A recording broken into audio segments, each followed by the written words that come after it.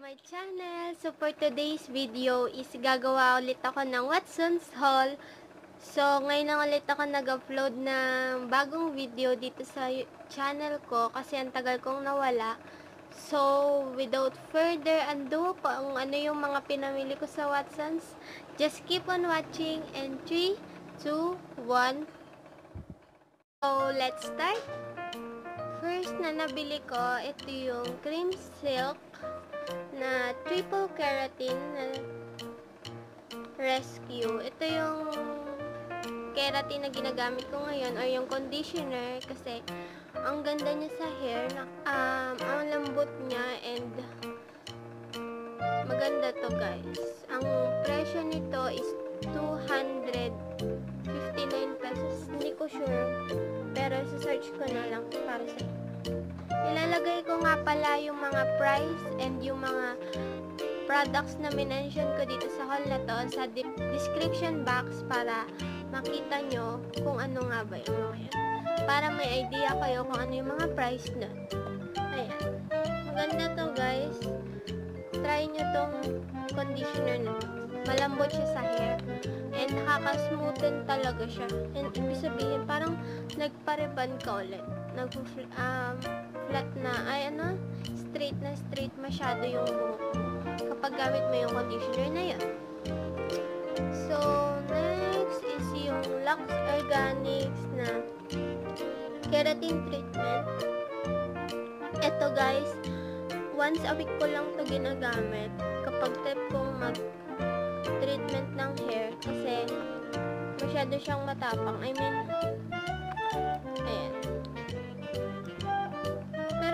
pwede rin naman siyang araw-araw pero mas gusto ko siyang once a week. Ayan. Maganda rin to guys, nakaka-straight ng hair. Sobrang straight talaga. And yan, try nyo to. For only 69 pesos. Ilalagay ko lang din naman lahat na prices sa description box. So, i-check nyo na lang guys. So, next is yung Ang laman nito is 30 and uh, yung kulay nung ano niya, parang pinaka-wipes niya is kulay black. Ang ganda nito. Mas gusto, parang mas gusto ko to kaysa dun sa sa argan oil. Bumili ako kasi paubos na yung argan oil ko. For only 119, mas mahal ata to kaysa dun sa argan oil. Na dalawa. Ito yung Watson's Mini Wet Wipes. Yan. Ang scent nito is parang ocean. Parang nasa ocean ka. Kasi ang scent niya, oceanic scent. So, parang basta, parang nasa dagat. Parang ganun. ang presyo nito is 19 pesos. And may laman na siyang 8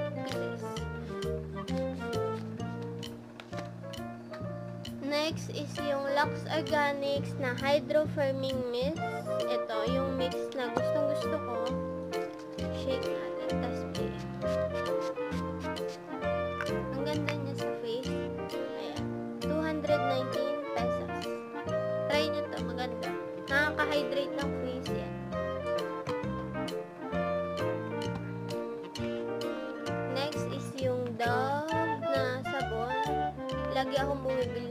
para sa body ko, sa katawan. For only 55 pesos. Next is yung Lux Organics na aloe vera, 99% na microfirming cleanser.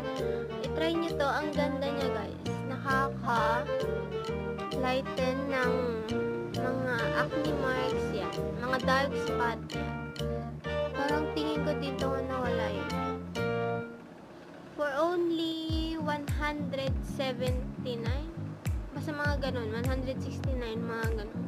Price niya lang. And ito yung Kojisan. Lagi kong binibili. Kojisan na sabon.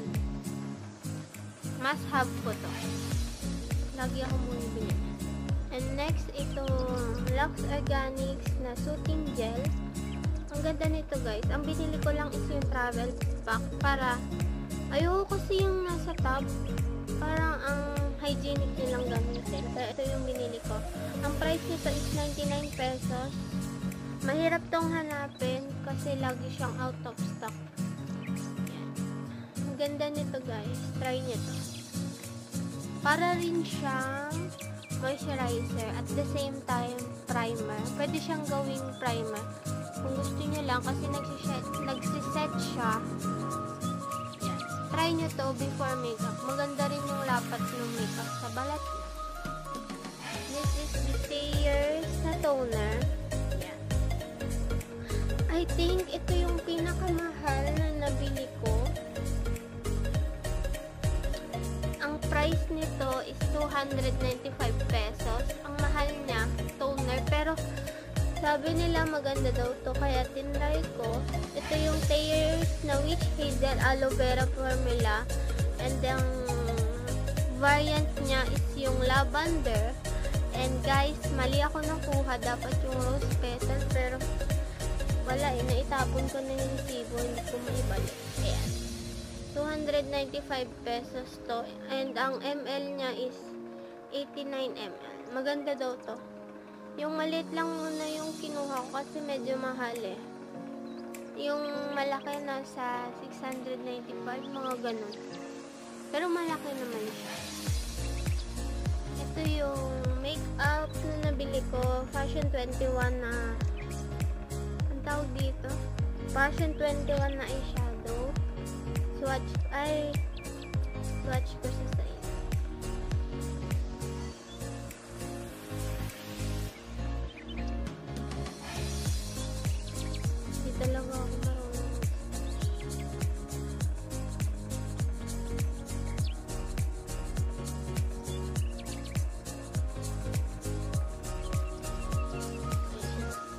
masyadong makita. Pero yan, ay shadow palette lang.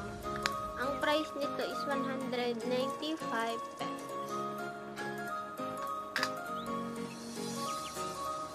Ito yung Face Republic na Gold Mirror Cleanser. Ang binili ko to, mag-purchase lang ako kasi maganda rin to sa face. Parang scrub din siya. Ayan. Dalawang pans na milk powder. Ayan. Ito yung tone up milk cream. And ito yung pants na BB cream.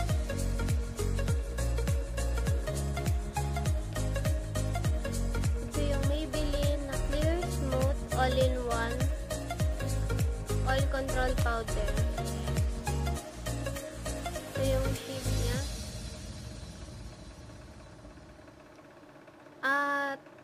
Travel sa ah, maliit lang din yung binili ko. Hindi ko binili yung may salamin kasi namamahalan ako. 169 to.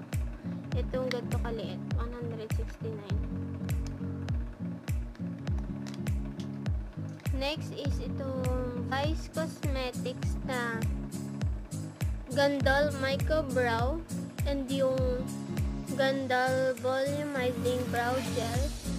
And ang shade nito is natural brown. And then, siswatch ko na lang siya sa inyo kapag tinry ko siya sa isang makeup tutorial ko. Soon. In the shade soft brown and natural brown. And next is yung Maybelline na Nude No Ones na lipstick.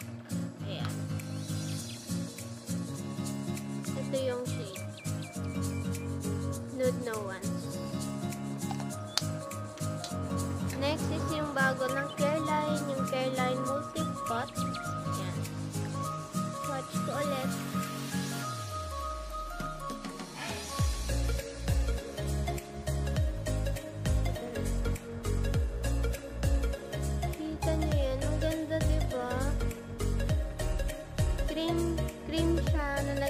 Powder. Cream to powder